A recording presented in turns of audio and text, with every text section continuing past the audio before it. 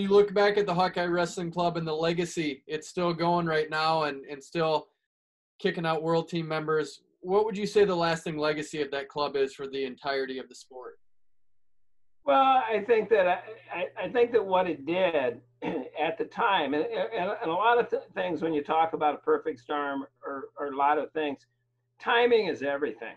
Okay, is that there were other clubs around at the time, uh, San Francisco Olympic Club, Cyclone Wrestling Club, okay, um, Sunkist Kids, okay.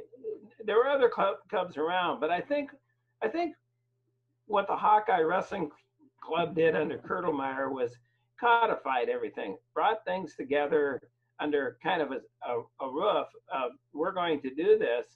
And then I think I think that the people were that were at Iowa at the time, right, whether it be Gable or me, or we saw and Kurdelmeier, we saw the benefit of of the closeness of the senior guys and the young guys and how that bonding and that inner working okay could work to the benefit of making something that you couldn't get anywhere else. You know and then and and then you look at it is that at the time you could go into the wrestling room and you could have practice and you could wrestle with the team right well what what's happens is that when you when you when you did that you see these guys progressing because of all the good people they're wrestling against. Okay? So, so if if you want to see the value of it, then look on the opposite side. This is a different way to look at it. But the NCA then comes in and says, okay, club guys can't wrestle during during college practices anymore because these others these other universities around the country couldn't get people to come in. So in essence, Iowa, the Iowa and Iowa State and Michigan, Michigan, Michigan State, they had those guys coming in. They had an unfair advantage because the reason these guys are coming in, there is a value there.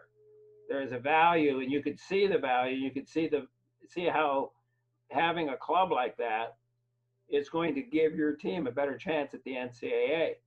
So, and then, and not not necessarily bad, but then you have a lot of the have nots, you know, then trying to legislate against it. Instead of going out, I mean, I mean, you have a lot of times is that you you find something that's very that's up here, and and these these people can come up here, but they got to go out and raise money and do all these extra stuff, or it's easier to make rules and pull these guys down. And I and that's what happened in in the beginning, you could go in the we could go in the wrestling room, and so Chris Campbell's wrestling wrestling with a freshman, and I'm wrestling with a guy, and then I, I wrestled for two or three times, and Chris is wrestling for people, and so you have all these guys. Okay, Chalice is in there wrestling with guys, and they're getting better and tougher because why? Because of their competition.